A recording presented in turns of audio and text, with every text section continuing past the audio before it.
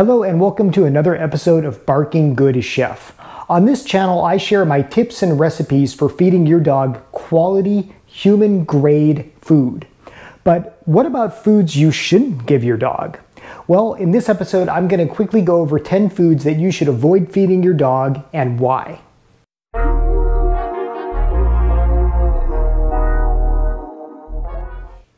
Now, before we get into it, I should note that this list is by no means exhaustive. This does not cover every food that you shouldn't feed your dog, but these are 10 of the big ones.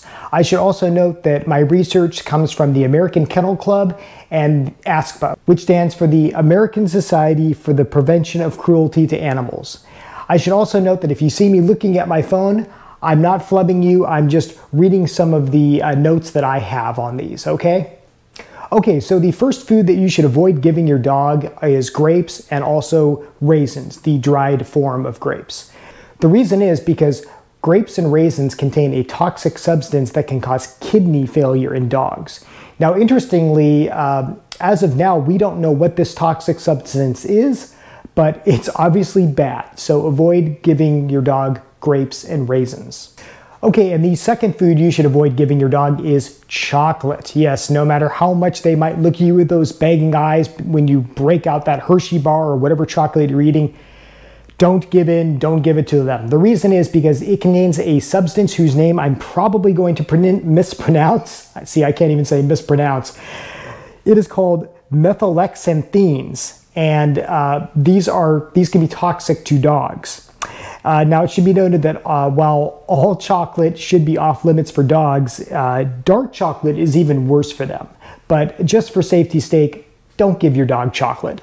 The third ingredient you should avoid giving your dogs is garlic. I don't know why you would want to give your dog garlic, but uh, just don't do it if you're thinking about it. That's because uh, they can contain a substance that can cause gastrointestinal problems and red blood cell damage. Now, it should be noted that cats are actually uh, more susceptible to having problems after eating garlic, but uh, dogs can uh, are at risk too. So, that pasta or pizza or whatever you're making with garlic, don't give it to the dog. Food number four to avoid giving your dogs is similar to garlic, and that is onions. Again, I don't know why you would want to give your dog onions. Can you imagine their breath after eating it? But just don't do it. The reason is because uh, they contain a similar substance that can cause uh, irritation to their to their intestinal tract, and that same red blood cell damage that garlic can also inflict. So, no French onion soup, no caramelized onions, no raw onions. Don't give your dog onions. Food number five to avoid giving your dog, especially in large amounts, are nuts. And in specifically, we're talking about almonds, pecans, and walnuts. Uh, they contain a large amount of fat, and that fat can actually lead to vomiting and diarrhea in dogs. Two things we definitely do not want for our beloved pets. Now, I should note that uh, peanuts and peanut butter are okay because, uh, as you may know, peanuts are actually legumes. So uh, peanuts, peanut butter, those are okay, but other types of nuts are a big no-no. Um, macadamia nuts are another one that uh, can really inflict harm on dogs. So uh, beware of that. I should note that I'll put links to my research pages in the description below so that you can uh, get a little more information for yourself and see more of the ins and outs of why you should avoid feeding your dog these foods. Food number six is xylitol. And if you haven't heard of that one, that's okay. Xylitol is actually an artificial sweetener and it's found in like gums and mints and things like that. Uh, now, this is something that you, you may not even know that foods have. So that's why it's important when you're feeding your dog any type of food to look on the ingredient list to see what's in it. Uh, now, xylitol can cause uh, insulin release. And um, that can actually lead to liver failure. So, something we definitely do not want for our dogs. Food number seven is actually a beverage, and that is alcohol. Again, I don't know why anybody would want to have their dog drink alcohol, but don't do it. Whether it's beer or wine or a margarita, alcohol is an obvious no-no for dogs, and that is because uh, it, it, contains substances that can cause vomiting, diarrhea, Uh, decreased coordination. I mean, hey, we know that one in humans too, right? As far as well as central nervous system depression, difficulty breathing, tremors. The list goes on. So again, I probably shouldn't have to tell you this one, but don't have your dog drink alcohol.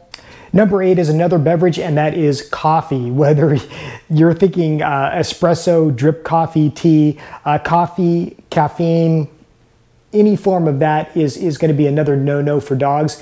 And it's actually the same reason uh, to avoid chocolate. It contains that same substance whose name I'm going to have to try to pronounce again, methylxanthine.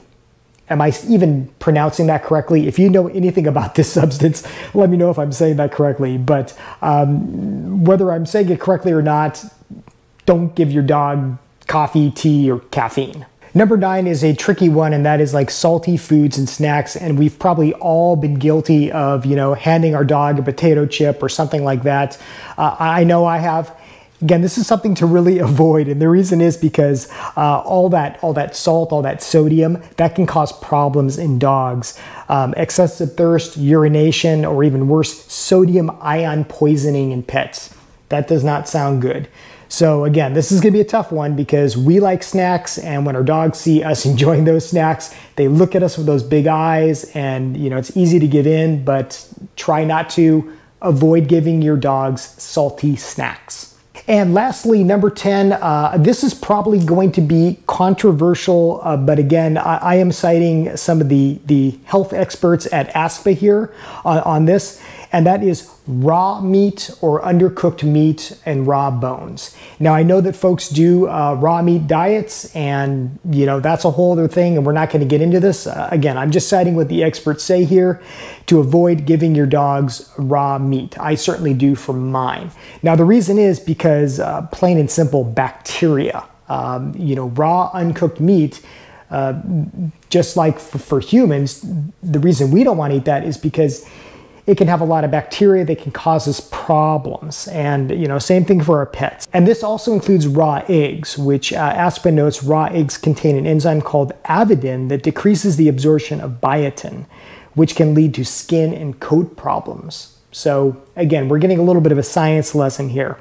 Now, again, I'm not going to get into the controversy. Um, you know, I, some folks do feed their dogs raw. Uh, I personally don't recommend it for the same reason because it all goes back to the quality of the source. Um, if you're just buying raw meat at a supermarket, you know, it's, it's really tough to know the quality control of those things. So I always play it safer than sorry, and I cook the meat that I give dogs.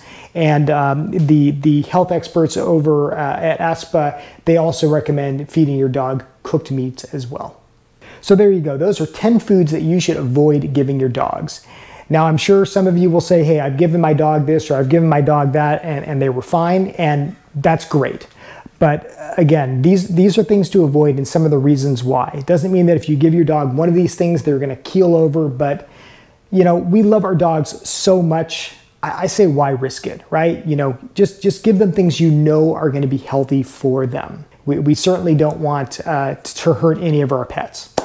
So I hope you found this video helpful. If you did, please give it a like. Please subscribe if you haven't already to the channel. Guys, I'm just loving the support that you're giving. Uh, thank you for all the, the likes. Thank you for the uh, subscriptions. Uh, and I hope your dogs are thanking you too, because that's what it really is all about is, is feeding our dogs the best food we can give them and giving them the best lives that we can give them.